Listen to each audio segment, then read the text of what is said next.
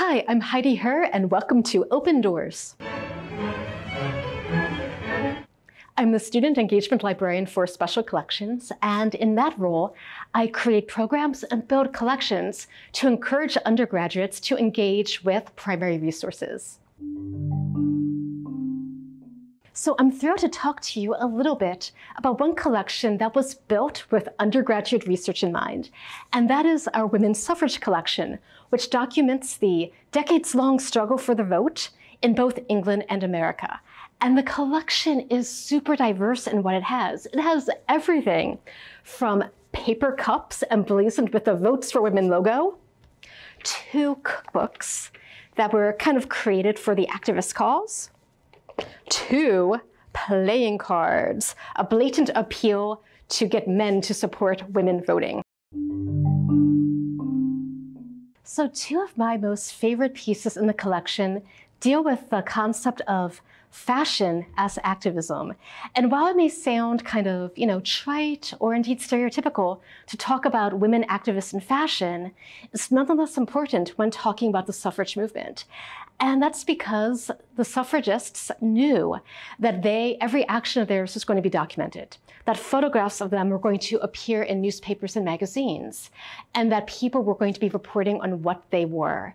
So it was important for them to have a variety of insignia to showcase that they indeed were suffragists. And sometimes too, this could just be, you know, small buttons that they wore.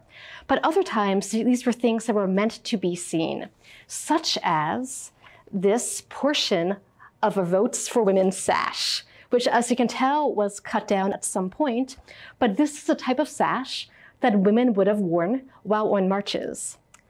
And if you look at it, you can tell that there are three colors purple, green, and white. And these colors are really important because they identify the organization that created the sash. And this sash would have been worn in England by members of the Women's Social and Political Union. And we know this because these are their colors. Purple stands for fidelity, white for purity, and green for hope. The hope that one day soon women will have the right to vote. But we also have something that's slightly less common. And indeed, it could be very unique. And that is a women's suffrage evening bag. It's a crocheted bag with these two very delicate handles. And if you look at it, you can tell that it has the same color scheme as our Votes for Women sash.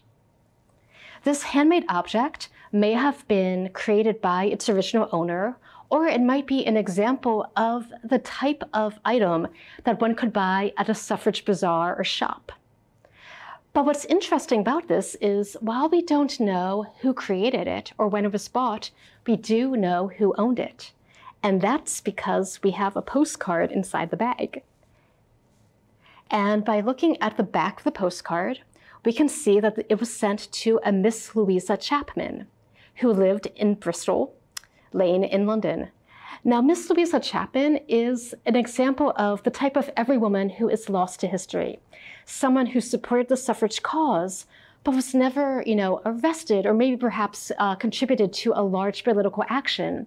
But she nonetheless believed in the right for women to vote, and she worked for it. She advertised it. She advocated for it in her own particular way. The Women's Suffrage Collection has been used quite heavily by undergraduates. One exciting thing that students did was actually curate a suffrage-themed uh, display in our Special Collections reading room.